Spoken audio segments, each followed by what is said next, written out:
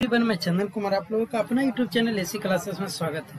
तो चलिए मेरे दोस्त, बहुत बहुत ही बड़ा बड़ा न्यूज़ और बहुत ही बड़ा बदलाव फिर से कर दिया बिहार पॉलिटेक्निक और इस बार क्या किया है मेरे दोस्त की जो सेकंड राउंड का अलॉटमेंट रिज़ल्ट दिया, वो कैंसिल कर दिया।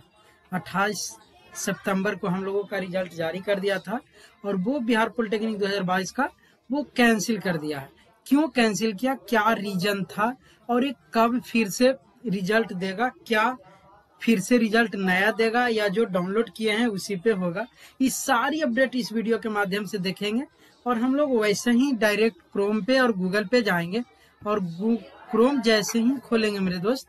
और क्रोम खोल के बी सी सी लिखेंगे। क्या? B C E C B C C enter मारेंगे। और इंटर जैसी ना मारेंगे मेरे दोस्त। यहाँ पे कल लिख रहा था ना फ़र्स्ट अलॉटमेंट यदि सेकेंड अलॉटमेंट पॉलिटेक्निक का। तो उसके लिए यहाँ पे हम लोग आएँगे नोटिस में क्या? और एक बात और बता देते हैं कि वो जो पैरामेडिकल का था ना अलॉटमेंट लेटर वो फ़र्स्ट अलॉटमेंट लेटर बोले थे कि तीस तारीख को ही आएगा। तो हम लोगों को तीस तारीख को डीसीसी पैरामेडिकल और पीपीएम पार्ट टाइम पैरामेडिकल दोनों का अवेलेबल कर दिया है। आप लोग चेक कर लीजिए। ये भी अपडेट दे दिए मेरे दोस्त। और ये जो हमारा बिहार पॉलिटेक्निक का ना है, वे सेकेंड राउंड का जो था ना अलॉटमेंट वो कैंसिल कर दिया। यहाँ पे देखिए, आप लोगों को लेटेस्ट अपडेट बोले थे ना लेटेस्ट अपडेट में जाना है।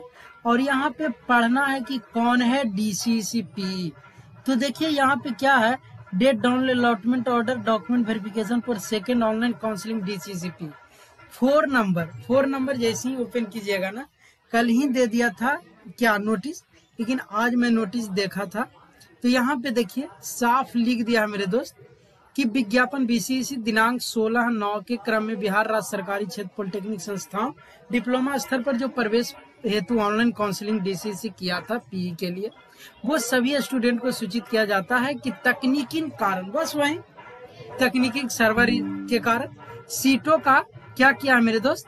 वो थोजना सीटों में जो विवरण कुछ टेक्निकल इरर के कारण त्रुटि आ गया, इसीलिए second round online seat allotment को रद्द करते हुए सेकेंड अलॉटमेंट के लिए नया एक पुनः निर्धारित किया गया है टाइम टेबल वो देखिए सेकेंड राउंड हम लोगों को 28 को दिया था, वो रद्द कर दिया।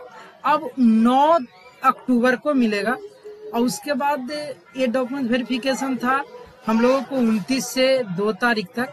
तो अब बीच में आ गया नौ के जब अलॉटमेंट ही आएगा तो अब एडमिशन होगा दस से तेरह तारीख तक। अर्थात इसका भी एडमिशन होगा दुर्गा पूजा बाद और पॉलिटेक्निक का भी एडमिशन होगा दुर्गा पूजा बाद। तो चलिए मेरे दोस्त, ये नोटिस सभी तक पहुँचा दे। नहीं तो क्या करेंगे, सभी कॉलेज चले जाएँगे और परेशानी हो जाएगी। क्लियर मेरे दोस्त? चलिए थैंक यू